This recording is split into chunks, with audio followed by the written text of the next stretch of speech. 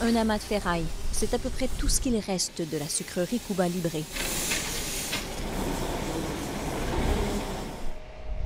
Avant de fermer en 2004, c'était pourtant le cœur économique de cette petite bourgade de la région de Matanzas, dans l'est de Cuba. Le sucre, c'était toute la vie des gens qui vivaient ici. Et en changeant cela, la vie a changé.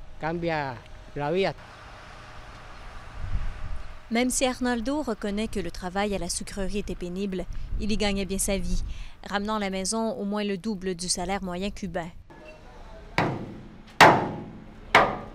Mais aujourd'hui, les seules personnes qui travaillent encore sur le site de l'usine sont celles chargées de la démolir.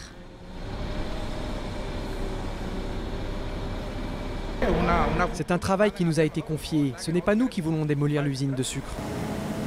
Plus du deux tiers des usines cubaines ont subi le même sort dans la dernière décennie. Pourtant, la petite île a déjà été reine des exportations de sucre au niveau mondial. Après la Révolution, c'était d'ailleurs l'une des ambitions de Fidel Castro qui voulait faire de la canne à sucre l'épine dorsale de l'économie cubaine. Mais la chute de l'Empire soviétique a sonné le glas de cette industrie. Aujourd'hui, Cuba ne produit plus que 2 millions de tonnes de sucre par an, loin des 8 millions raffinés à son apogée. L'époque où Cuba était le plus grand exportateur de sucre du monde est révolue. Vu la taille de notre pays, cela ne sert à rien de prétendre le contraire. Cuba ne redeviendra jamais le plus gros exportateur de sucre. Et dans les quelques villages où l'odeur de mélasse continue de planer, la stratégie est désormais de miser sur les produits dérivés.